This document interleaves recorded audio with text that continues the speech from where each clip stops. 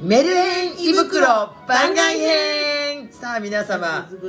ビニール傘だよビニール傘にさあねありました青あのくず餅だっけなそうねくず餅をず餅だっけえ違うえ何何えわらび餅わらび餅よわらび餅わらび餅をにブルーにブルーに染めていますからこれだと取れるうん取ってコロコロしてつけた方がいいようんそうねねさあえープリンプリンプリンプリン片手で大丈夫。うわーおわーお。ドボーン。うわ綺麗だね。あ一個一個取ればいいんだほら。そうそうそう指でね。一個一個一個一個取なんかこれだけでもすごくなんかうん。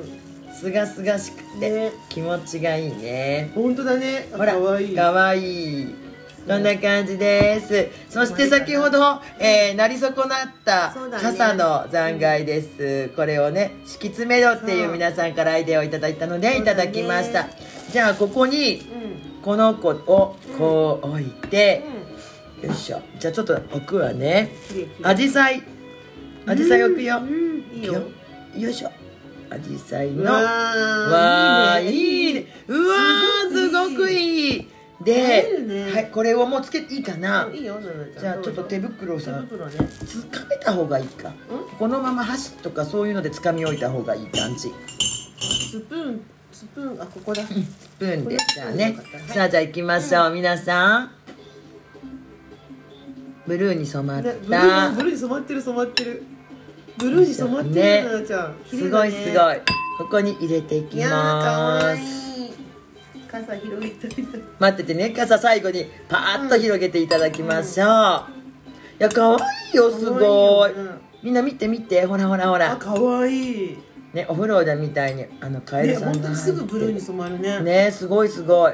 よいしょ。あ綺麗綺麗。綺麗だね。よいしょあよいしょ。本当にブルー。うわやってみたかったなねえよいしょ。さあしのりのやってみたいをかわいい。叶えるのがこのメルヘン袋でございます。すごい可愛いよ。よいしょ。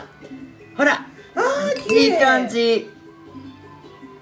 黄色とブルーがなんかほらほら爽やかだね。じゃあ傘をはい。さしていただきましょう。どこ？ここ？そうだね。もっとグッと入れていく。どうやって刺すの？これさここパンのとこグリグリって刺すことできる？え？無理硬い？硬い。無理か。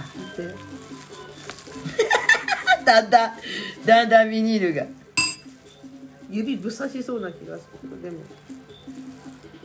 あ。沈んじゃった。じゃあ備えて。ではそれでは皆様。出来上がり。しのり。の日傘になり